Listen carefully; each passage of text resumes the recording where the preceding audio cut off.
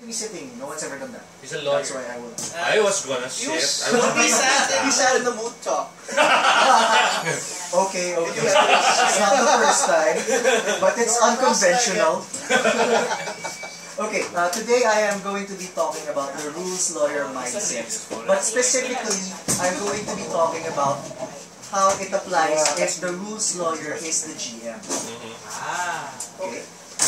Now, before we start, uh, as the standard introduction that people have been doing in these talks so far, let me talk about myself.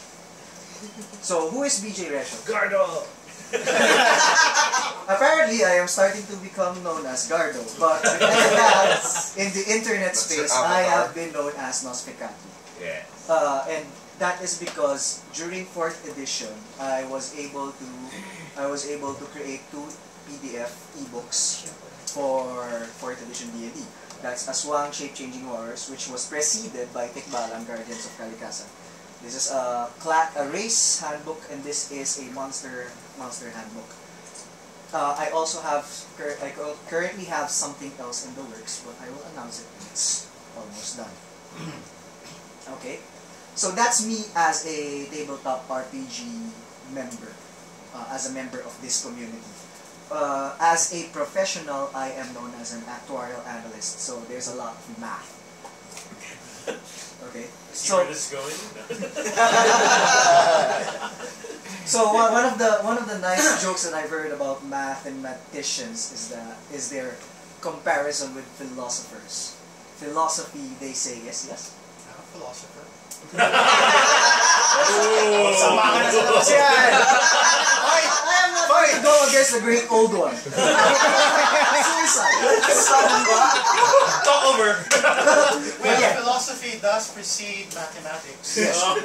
I will agree. I will agree. But again, this is this is a joke. Philosophy is a game with objectives and no rules. Whether or not you agree with that or not, it's up to you. Mathematics, on the other hand, is a game with rules and no objectives. We're just about the rules, which actually ties in nicely with the talk. So you know, but at heart, I am a mathematician. But all in all, all, all these things that I that I have done and I have been doing and I will do is nothing really. I'm just a guy who enjoys tabletop RPGs. And man. And it just so happens that I have some ideas.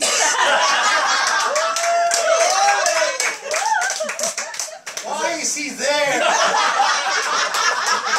Because no objective! No objective! Just rules! No objective! Because he has an 80% probability of being in the slide. So, uh, let's let's get things in order. What is this talk about? What is this talk not about? We are going to examine rules lawyer motivations. Why do players become rules lawyers in the first place? We'll look into that.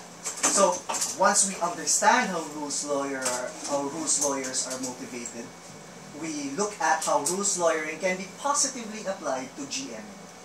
So, uh, an addendum is remember, I am not saying that this is how you should GM.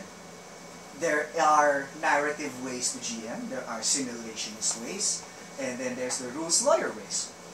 There are cer- those are certainly other viable mindsets, and actually most GMs would be a mix of these Is styles. that my name over there? Yes, Mon calls these mindsets hats in his last talk. See, I, I'm connecting it. Thank you. So- Let's start. Uh, the rules lawyer. Let's look at what we have to work with. Credit to XKCD. Okay.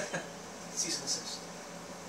So, by by the way, what what we're doing is we're going to examine. I'm not actually going to tell you how to GM as a as a rules lawyer. We're, we're just going to look at it. Ano bang meron dito? What can work? What cannot work? If you disagree with me, feel free to do so. So, we'll just look at it. Before we do that though, this is kind of a theoretical um, discussion, so we're going to tackle a lot of rules. Uh, terms, rather. we, we actually aren't going to tackle rules. I, I, I did not include rules in this talk. So, first of all, I will use RPG as, uh, as my default term when I'm referring to our hobby. I'm not going to add tabletop. I'm not going to add uh, TTRPG or anything like that. We all know what I'm talking about, right? Yes.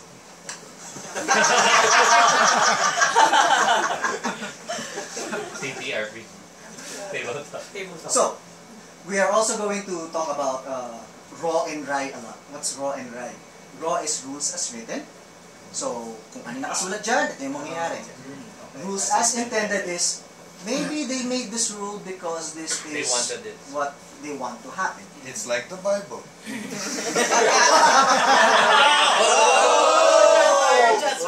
And that's another hat. There's, there's also Sunday, going no to be some discussion on player agency. What is player agency? Player agency is the ability of a player to change his surroundings within the game. So, for example, something that does not have player agency is if mukhang bangin siya pero hindi makatalon si Lara Croft. Eh gusto ko mamatay si Lara Croft eh, ba't di ako makatalon?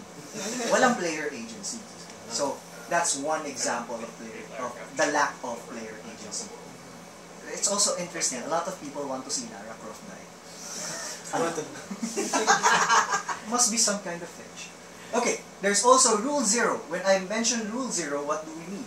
Rule Zero is the first and mostly unwritten rule, sometimes it is, sometimes it's not, of tabletop RPGs in general. And the rule is, it has a lot of versions. These are two of the most popular versions. The first one is the GM is always right. It doesn't matter if the rule says you're right, if the GM says you're wrong, you're wrong. That's going, although that's going to also be a source of conflict that we could tackle later on. And then another variant of Rule Zero is don't give the GM ideas. Amen. Yes, yes, Okay. yes. But unfortunately, there's also one reason why sometimes players plot behind the GM's map, which is not so good. If the GM is wrong, see rule number one. Yes. okay, and then we're also going to talk about rule of cool a little bit. Uh, rule of cool is basically this rule here. Oh, no, Suspension of disbelief is directly proportional to Nice. awesomeness. Oh my god, there's a big May mask na. yan na. Okay. Basically, the rule of cool in a lot of games is that uh, as long as it looks awesome enough, it doesn't matter if he's defying gravity. Uh, or if, if we look at Toy Story, this is falling with style. Okay, there's also going to be a lot of talk about the rules lawyer itself. There is uh, some confusion sometimes. The rules lawyer and the simulationist are different kinds of mindsets. There are there is some overlap, but basically a rules lawyer will look at rules for consistency. A simulationist will look at the real world and try to adapt it into uh, new, exi- new or existing rules, to so that their expectation of reality will be realized. Uh, but if you want more things about simulationists, ask Justin. He's very good at it. Yes. Okay. Juan de la Cruz on Facebook. Okay. Why do we need rules anyway? Uh, who here as children played Cops and Robbers or... Hindi. Cops and Robbers is actually somewhat uh, out, of, out of style already when I was a kid. Um, when I was a kid, the game to play was Charge. You know, you know Charge? Mm. You sit, you sit like this, and then the other player sits in front of you, and then you clap your hands together, and then you have different moves. Charlie. For a But time, most moves require a charge. for a time, it was Dragon Ball Z. Yeah. On Uh. Dragon Ball Z is the most popular variant. You you charge, and then more charges means more powerful attacks. So, So if you want to have a Kamehameha, That's what that's five episodes worth. So that's five charges. Okay? But if you're if you're going to do what Piccolo did to Raditz, that's also another five charges. But if you're just going to do Krillin, Krillin's stupid pizza energy ball thing, that's just one charge, mm-hmm. and it people can dodge. And there's also reflect, there's absorb, and lots of lots of other things. But what's the problem? The problem there is that the rules are not codified. Everyone has So, their own version. Everyone has their own version. Ano, anong kailangan limang charge ang ano, Kamehameha? Ah, sa amin, dalawang charge lang, pwede mo. So, bata ka pa lang, nagalit ka na sa game na yan. Is this why you got into math? No, why I got into that is a very different story altogether. So basically, RPGs are ascended cops and robbers, ascended charge. We still like to play as people that are not us. Or are us, as Rocky says. But with, within a different world, within, a, within different circumstances. So, but in order for us to do that, since we are, since this is not just our imagination, this is the collective imagination of a group. In order to do that properly, we need rules so that we have an understanding of how the reality of the game works. Okay? So for example, in this case, Fast and the Furious Cops and Robbers, yung Cop Kami Robber. kind of worked. Okay. Plus, they're they're they're basically a D&D group, right? Yeah. Yeah. In cars. Well, Vin, uh, Vin Diesel GMs. Yeah. And, and Melkor, the Drew. That's him too. So, let's move on. Rules lawyer. Rules lawyering is lawful neutral. Uh, everyone here has, uh, I hope everyone here has played some variant of D&D and they understand what I mean by lawful neutral. Yes. Yes, yes. I'm so Explain. sorry, I just had the wrong Okay. game. Ru- uh, there is an alignment system wherein you have a good versus evil axis, which is very easy to understand, but you also have a lawful versus chaotic axis. Lawful is basically following rules. Chaos is Do as re- well. uh, not following rules. Because self and, you know. Self-directed. Conservative? Libertarian. I would. No. It's not part of the world So- we're talking about. The natural state. Yeah, that's true. The natural state of rules lawyering is lawful neutral. Okay? It ha- it is therefore consistency and predictability. I'm a level 10 barbarian, I have 10 d12 hit dice, my constitution modifier is plus 3, I can probably fall 100 feet. I can take it. Alright? It also gives us some sense of player agency because without a thorough understanding of the rules, especially with newbies, you will hear a lot of a lot of newbies ask, "Can I do this?" Mm-hmm. Okay, a rules lawyer typically becomes a rules lawyer so that they can say, "I can do this," before the GM shuts them down. Okay, so that's one reason why a lot of people be- become rules lawyers. They want to, they want to already have an idea na pwede to, this can work. And then, if it cannot work, then that will be a GM to player discussion of why it shouldn't work. Okay? But unfortunately, rules lawyer, yes, Does that mean that rules lawyers are creations of GMs? Sorry, I'm a philosopher. Sort of like how math followed philosophy. yes, Mind blown. yes. Actually, uh, I will, I will agree to the to the point that there are certain GMs that breed more rules Mhm. lawyers. Yeah. yeah. BJ, As opposed to- BJ. yes. Your Um, GMing style is tends to attract people that like what you're doing. Okay? So if you're a purely narrative kind of GM, you tend to attract people or players who enjoy that game. If you are a techie and you want to do charts and crunch, you attract and people will stay with you because those players want to. Do that. Yeah. Yeah, you're? In response to sir, uh, sometimes Don't call me sir, that makes me older by 10 more years. uh, in response to a younger sir,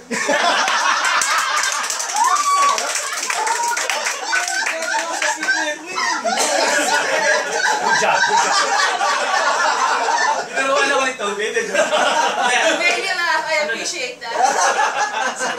ano, parang sometimes it's actually the parent themselves that became the rule lawyer. Kasi uh, if they are in trouble, sometimes they will argue with the GM on how to get out of it. So it's not uh, basically just the GM that attack them, but sometimes uh, they are also the rule lawyer, kahit naman sa real There are people that will be naturally rules lawyers. Yeah. yes. from But, it, I know but there's also a valid point in saying that a certain type of GM will attract, will tend to create rules lawyers because of how they GM. Yeah, it's their style. Yes.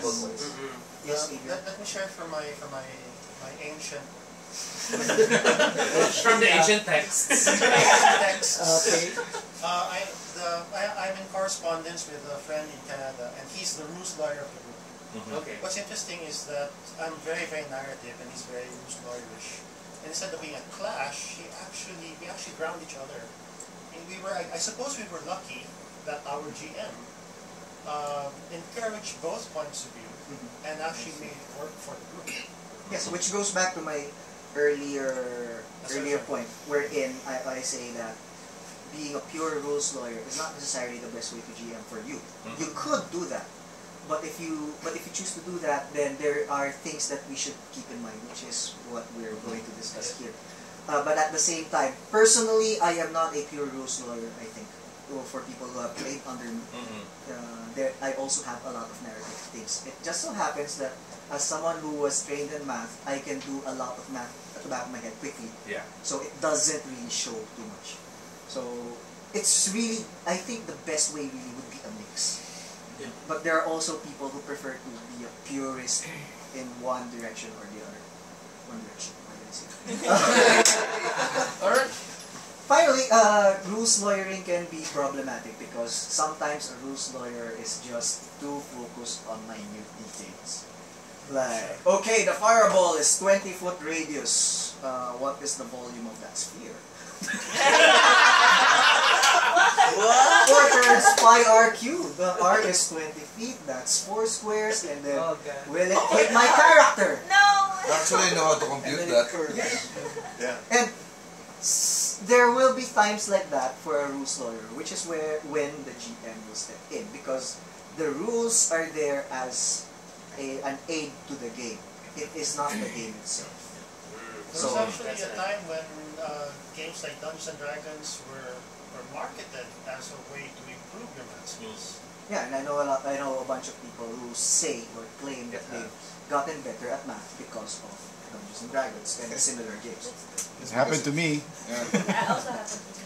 Okay. Because Taco, you have to reverse the math. So rules lawyering by default is lawful neutral. On the other hand, eh, Namatay. okay. Cross connection. On the other hand, Pare. rules lawyering can also be lawful good. Paladin Ow. Paladin. Okay, that's the Paladin in Hell from the first edition uh, Player's Handbook, which you can look at later if you want. Show off.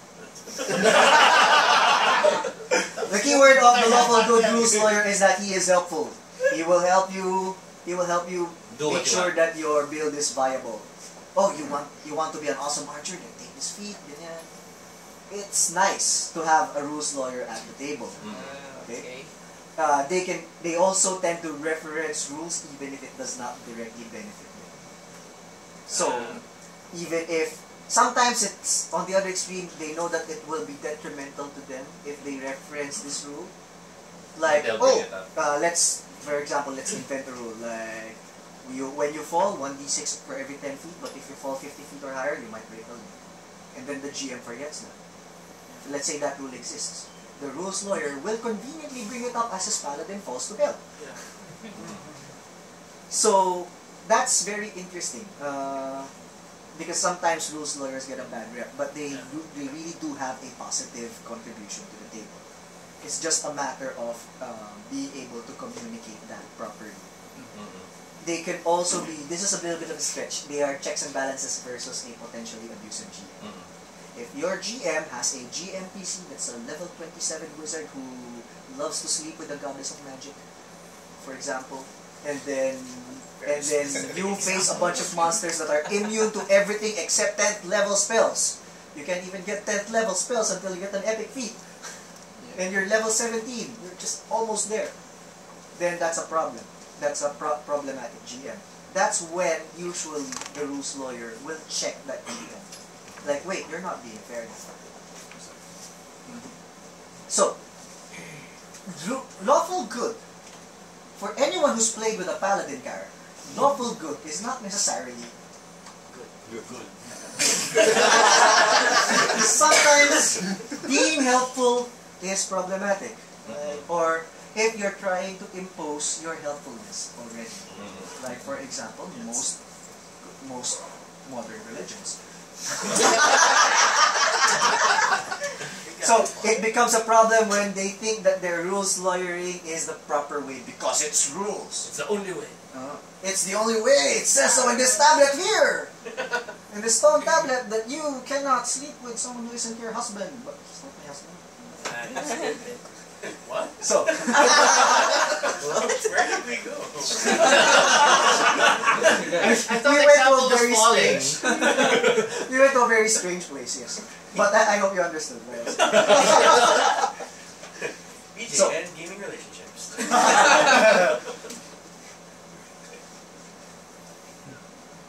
Okay. Rules lawyering can also be lawful evil. Keyword here is selfish. Mm. A rules lawyer will sometimes reference raw rules as written, but only when it benefits him. Are you talking Malaglag both siya. as the player and the GM in this context? Uh, we're currently looking at the player. mode. player player. muna. Uh, we'll look at the GM a little bit later on. Alright? So, the very idea here is that they will ig- conveniently ignore rules that do not help him. So, uh, I've looked at TV tropes and they, they have a term for the lawful evil uh, rules lawyer called the rule shark. Oh, Okay. They And smell blood in the water and attack. so what are we going to do with rule sharks? My suggestion is fuck that shit. Okay? We're here to look at the positive ways rules lawyering can be applied. There are negatives to every stereotype of player. And we should be able to stamp out the negatives. Like, look at that pit fiend. Look at what he's doing to the poor GM. Okay. oh. Okay? Mounted na eh.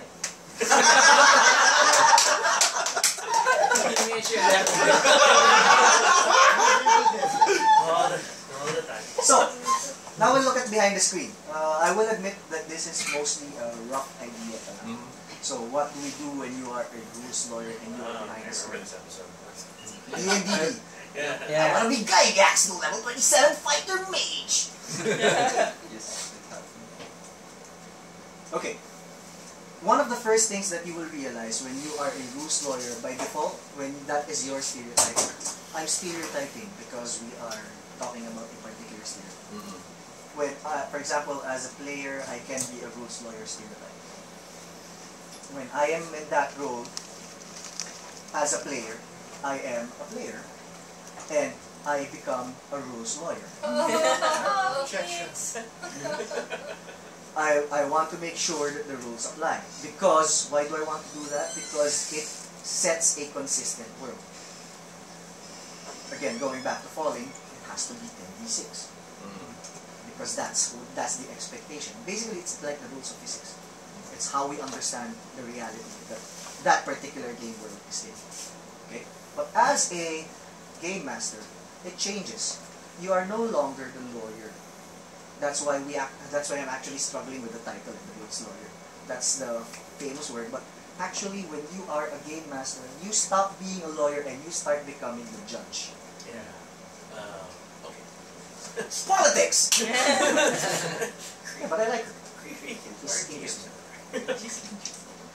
So, why why do we have to make that distinction? This is going to go back to our initial discussion about raw versus right. It's the classic debate. What do you want to do? Do you want to follow rules as written or do you want to follow rules as intended? Now, one of the first things that I will point out is that they are both starting in R. They're both rules. Okay. okay. Okay. Fine. Why is that important? Robert, what that is important because as a judge, you are no longer trying to win an argument. You no longer are picking a side. You are just there to make sure that everything is fair. That everything works as it's supposed to be. Which is my thesis for saying that as a rules lawyer, if you are on the GM seat, you have to follow rules as intended. Rules as written are there only to get you so far, but that is also why you have rule zero. Because mm-hmm. you want it to be fair to everyone. For example, one of the things about rules as written that is problematic is, let's go to D&D 3.5 because that has a lot of rules. Uh, have you all heard of Pun Pun? Yes. Yes. Oh, yes. Pun Pun is basically a kobold character that at level 1, if he summons Pazuzu, by calling Pazuzu three times, he can set a few wishes in such a way that he will become a character whose strength, dexterity, and all of his six stats become infinity. And it's legal by the rules. So, but why, why will we do that in a game? Right? That doesn't make sense. Rules by themselves do not make sense. So that's why I actually look, uh, that's why I actually brought up this particular judge earlier, because there was this uh, recent thing that she did where she admonished one of her law- one of the lawyers in a hearing, who was a former student of hers, because they are basically sticking to rules as. They, with, and they are now conveniently excluding the intent of the laws that they are implementing. So that is not the way to judge. The proper way to judge is to make sure that you are applying it in the way that it's supposed to be applied. Okay? So rules as written is basically Okay. rules as intended is basically right. yes. Um, let me just warn you guys, I'm going to go philosophical here. Uh, but I think this is relevant. Uh, Rules lawyers argue to end the conversation. Basically, they want to say, I'm right, you're wrong. And uh, basically, when they say you're wrong, that means shut up. Mm-hmm. Okay. Judges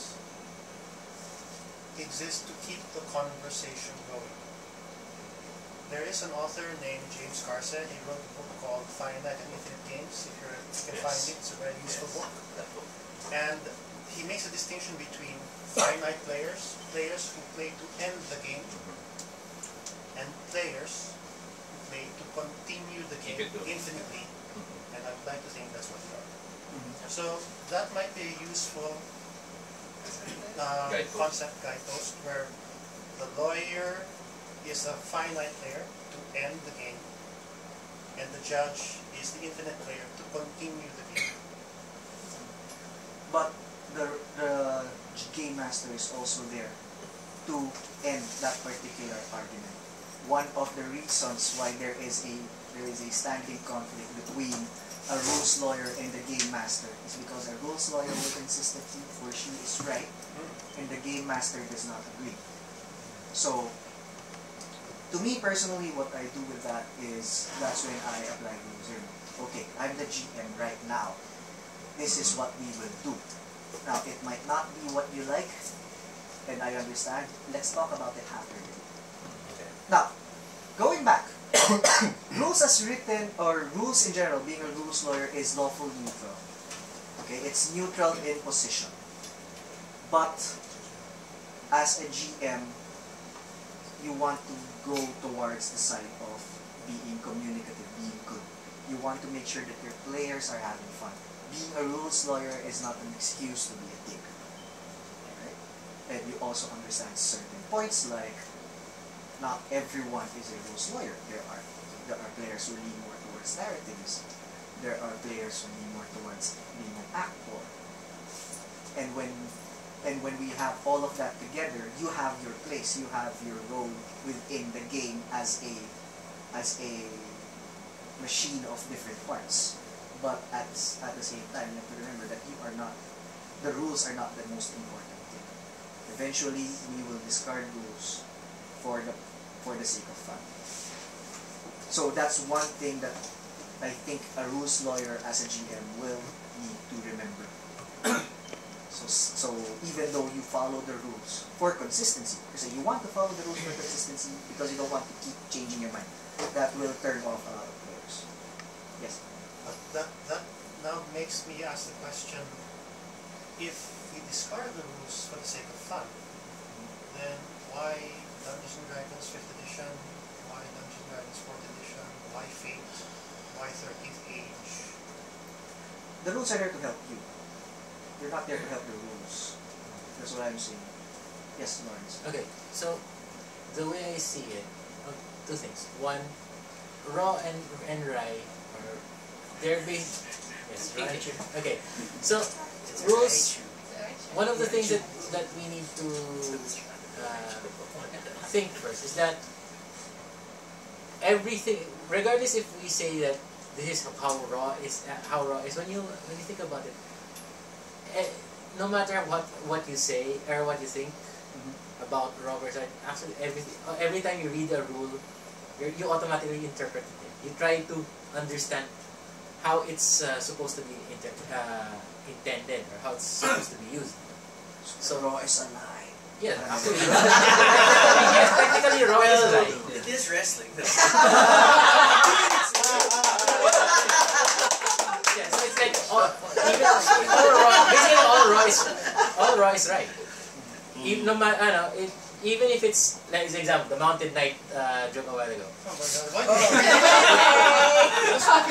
You might, I mean, if, if you have a certain mindset, Mountain Knight is a regular regular knight you know, on a horse. But if you put it in a different context, a Adobe context. a Toby context, Adobe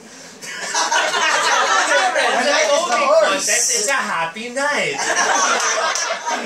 now the second thing, because despite the fact that all raw is right, we still need to establish a baseline. A baseline of expectation, a baseline from which both players and GMs can come together to play a game. Therefore, the rules. Mhm. That's a very good way of putting it. Yes? Clarification lang. Uh, I just want to clarify. Uh, if a player is a rules as intended player, is he also a rule lawyer or not? What if you uh, what if I'm a rule as intended player? So what uh, Uh, my rules are Well, you can answer that. Comment. To a part you are, because the fact that you are calling out rules means Yeah. that you have taken the time Mhm. to, To look it analyze up. this. Okay, Yes. admittedly, when I was younger, shut up. I can't comment. I wasn't born yet.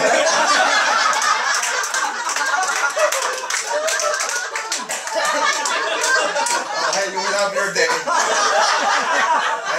I guarantee you that. So when I was younger, yeah, I can quote like paragraphs from second hand and then, but then again, di ba, it eventually I, I, I outgrew that.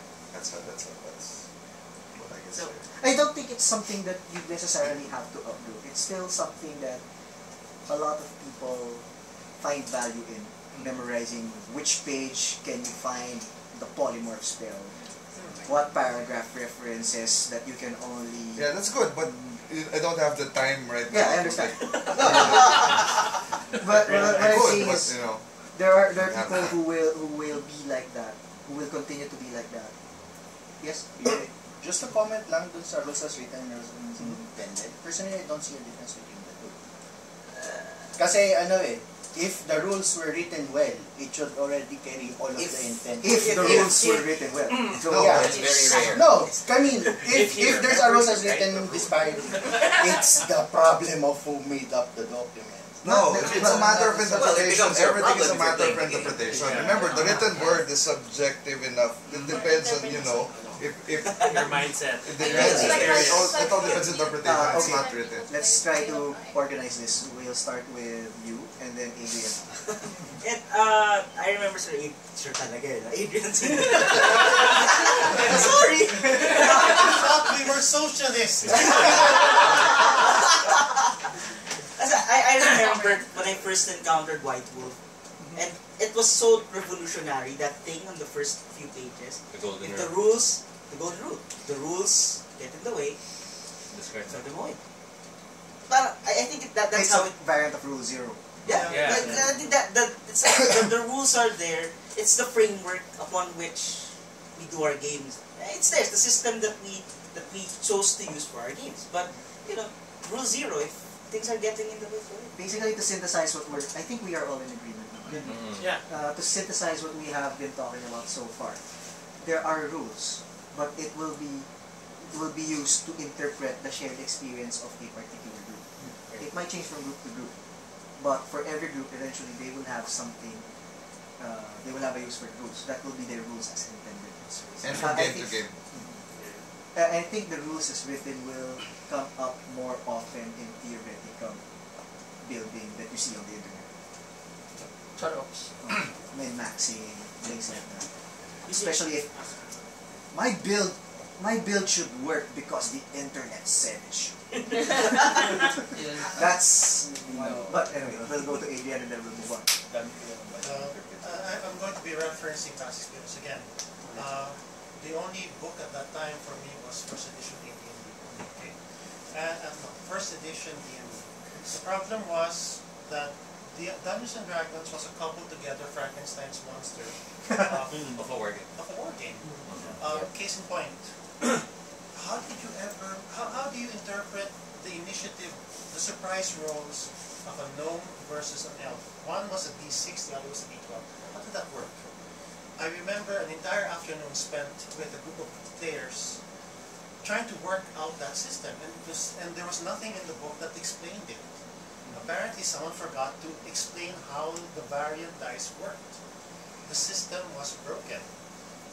But in spite of that, we were able to get, we were able to extract the experience that may not have been what Gary Gygax and Arneson intended, but was something we felt was worthwhile. The system was broken. There were contradictions galore. Lots. And those contradictions were the ones that brought up the rules lawyerings of um, volume of a, of a, of a, of Siege a- advice. siege advice, uh, how much damage can a uh, if you were to cast feather fall from a certain height would you be able to cast it given the amount of time and still not crush yourself you know? Conundrums like that. You have a minimum of 15 feet. there and, and, and, and you also you also can't blame us because that was new right the only thing we had at that time was physics mm-hmm. Yeah. Now, if you look at the writing today, if you go back to the written word, you see that writers very consciously take those mistakes into account, mm-hmm. and therefore rule zero. Therefore, if the rule doesn't work, talk about it with your group. Mm-hmm. If if it's a one-time thing, uh, it's a one-time thing. If it's how it's going to be the physics of your world, make that consistent. Rules like that came up after the first edition era, after White Wolf came. Up. And, and I was hoping that in this day and age, the rules lawyer would have been a everything of the past that would not come back to haunt us. Apparently not. Oh, but that, that goes back to what I want to reference then, that rules lawyers are not necessarily bad. There are, there are different kinds. Yes. Mm-hmm. They, they just have the Agree. mindset that sometimes is necessary for a game. The, the, the Yeah, common but- experience is very important, I think. But I think that's why this dichotomy needs to exist between like rules as written and rules as intended. It's because the well the perfect system hasn't been made yet. It will Right? never Because be. that's why we have editions, right? I mean each edition That's why we have real life. Yeah, exactly. If that's not real life perfect- is the perfect system. Why are we I even tried playing? summoning Cthulhu, nothing happened. So fun. Uh, real life.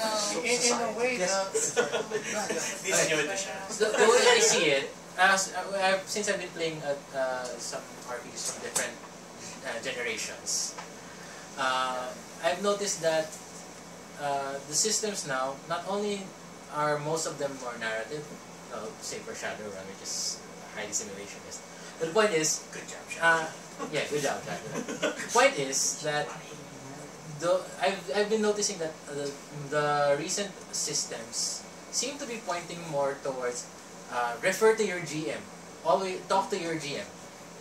This is uh, still rule zero, but in, it's presented in a way that encourages uh, Communication. communication. Yes, Yeah. which I think was not really present at the at first edition, second edition.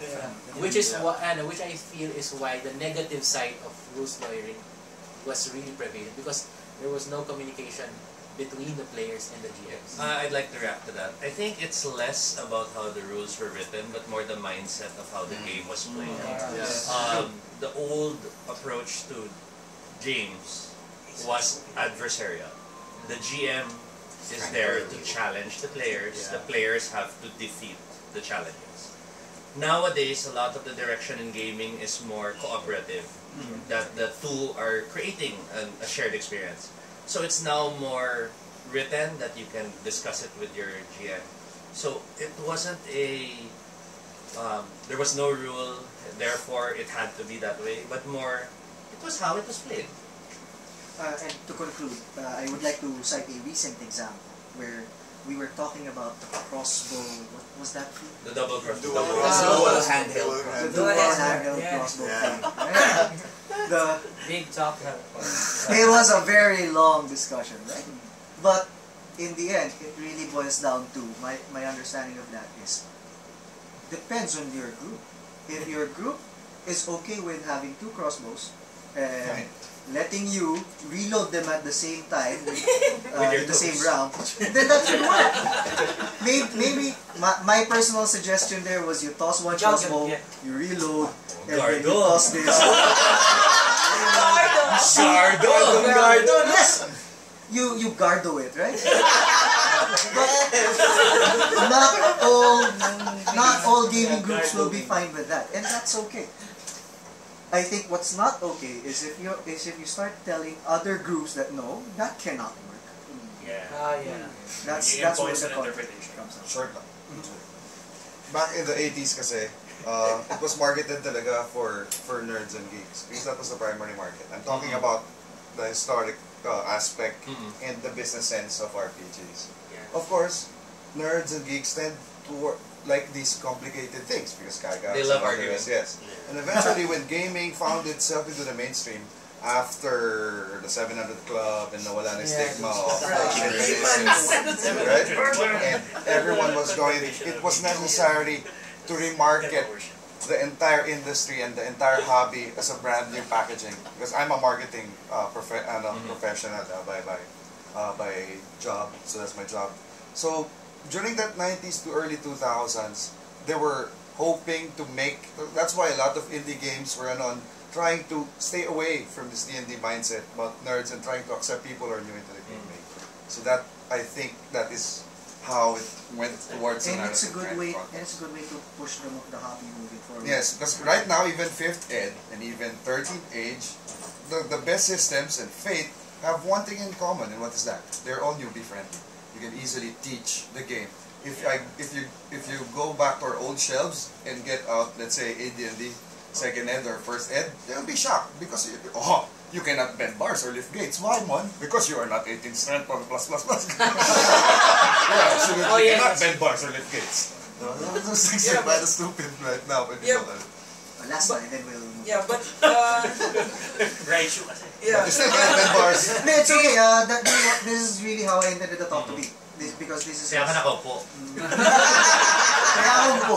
yeah, but gaming needed to evolve past rules as written because um, MMOs exist, video Yeah. games exist. Like if we really wanted to just crunch down on rules, I, then let's just play Diablo, right? Whatever, right? It will do all the math for us. Free. And there's no debate. Your build will always work. You just Exactly, build right? works. Yeah. And, and that's why, uh, that's one of the reasons I think why the newer games are simpler because now you want it to be more on the narrative side. But the rules lawyering will still be there. Um, move on na tayo. The judge has spoken. Rule zero. Rule zero. Okay, so being a rules judge does have its own challenges. One of the first one of the first things is you're going to have to remember rules. Kasi I don't recommend rules lawyering as a GMing style if you're not the type of person who would remember rules. Because You have to be the what will happen Yeah, then is you you will have to. reference the rule book a lot which will bog the game down. It makes you look unprofessional. Yep. On the other hand, you also have to remember your rulings, which is uh, different. Because sometimes you don't remember the rules, but you decide that, okay, you fell 50 feet, you break your leg. The next time someone falls 50 feet, they better break their legs too. Why always the legs? Consistently. That's how the physics work. No one ever fell on their head. Pag ganun lagi. Pag laglag sa ulo, bali pa rin yung leg. Program. Because that's how it works. That's how it works. Hindi, but that's what comes out of things like that. Yeah, but I can that, use that's a that's a funny example. But what I'm saying is, falling Mm. if falling has a, an effect that is not just damage, you just have to remember that it will always have an effect beyond damage. Yeah. That way, when the paladin falls the devil, who cannot fly, I think let's make sure that it's a devil that cannot fly. he pushes that, that particular devil 50 feet, then that would be problematic for the devil. It's important to be realistic about our fantasy characters. Yes. Say with a straight face and without irony. Okay, another challenge is something that has that has been brought up earlier. Being a rules lawyer will naturally attract min maxes. So how will you deal with the min maxing character? Uh, with the min maxing player? You let them. Oh yes, yeah. yes. Why do you? Why should you? Uh, why should you tell people that they cannot perform their fantasy? Right. Mhm. The only reason why that will why that will not work is if it is at the expense of someone else's fun. Mm-hmm. If if they are too powerful to the point that no one else can contribute. It's ruining na. Uh, it's ruining. Mm-hmm. That's when you talk to the player. But if it's just min maxing and then people in general like that he's the guy who deals 100 damage per turn, Wow. then let him do it. Mm-hmm. There's always a bigger fish.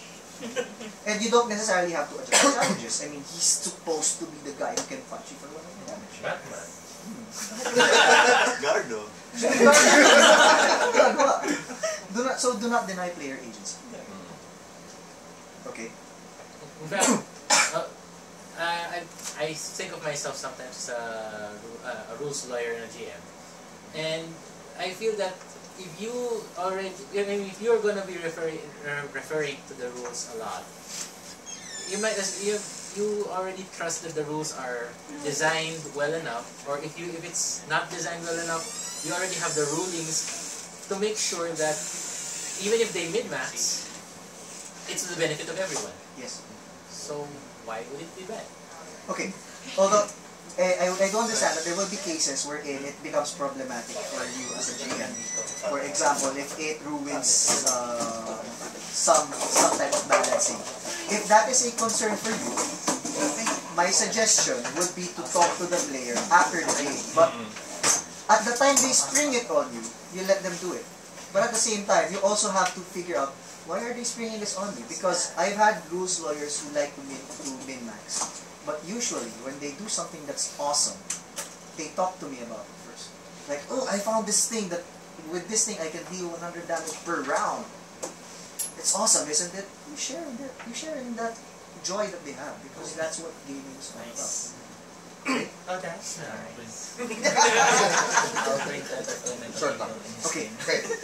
Uh, based on my based, based on my experience, the the best games that me and my group and some of the people who played under me and enjoyed is when the rules are in the background and not are the meat of the table and constantly being discussed. Okay.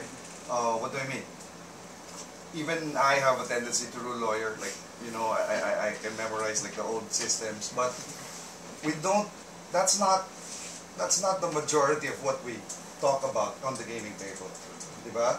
The majority of what we talk about is, you know, uh, character, uh, character interaction, uh, NPCs and story wise. But still, there is there are rules involved. No, don't make no mistake. There has to be like rules for for I agree completely. forgot. The the best way to be a rules lawyer as a GM is to not have the players realize that you are constantly it's a challenge. It, it, it takes a lot of experience to because sometimes you're it's constantly on your head that hey on page ganyan ganyan we have to discuss this it take 30 minutes everyone's not enjoying that because diba? It- Posted in It has to happen organically. Right. Okay, uh, final thing with Adrian. Uh, I- I'm, I'm going to raise a concern. Uh, the direction this discussion is taking is that we move from rules as written, where presumably anyone who reads the book can take the game. That's the presumption. It's not the actual actuality, but that's the presumption. Mm-hmm. Two, consult your GM. I have no problem about that, but where does the GM come from? How From the gods. yeah, And therefore, on the seventh day, he created the GM. to manage everything. To everything. And, and that's been one of my concerns. How the, the the the strong point and the weak point of our hobby is the GM.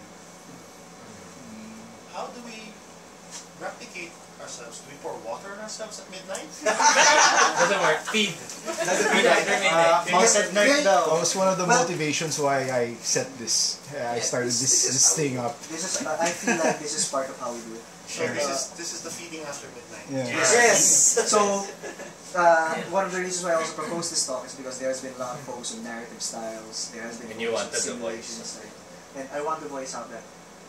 And we allow Having the you. rules. yes. Thank you. well, uh, I, I would actually want to. Yeah. Thank you.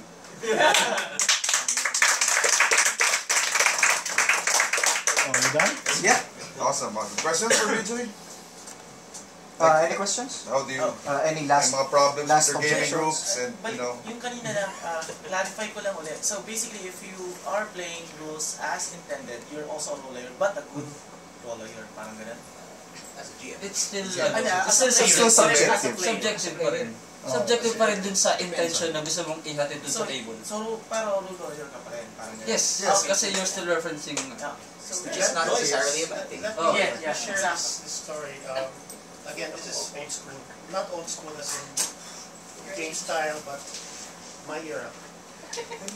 Um, we had a GM who ran, I think it was a Vietnam game, and um, they ha- the players were confronted with a wall. The the one of the player characters gathered all of the C4 or ex- and explosives he could find. I, I don't know if it was specifically C4, but was explosives. Piled it against the wall, set the fuse, and the GM ruled that the explosive went off, but there was no effect. And the players were askance. Why? What happened? And the GM simply said, "You don't have the the skill, the um, the demolition skill." What the? Wait, wait, wait, wait. Remember, think of the context of the story. This is something like Yeah. the gazebo story. oh yes, the gazebo stuff. Kind of choose. In which case, uh, immediately my rules lawyer friend said, "Very well. I take my pistol. I have no ranks in pistol. I shoot myself in the head and I survive." and and and I think that's what kind of set the impetus for where our hobby is heading. You know, from rules. I looking back, I, I don't blame the Muntik na, bush mob for pero wala. doing it. Okay. But now that we have din these ako games, it's because the, because all of these past mistakes have set the stage for the, accept, the acceptance of these kinds of games. So we're building, we're sit, standing on the shoulders of giants. Like it.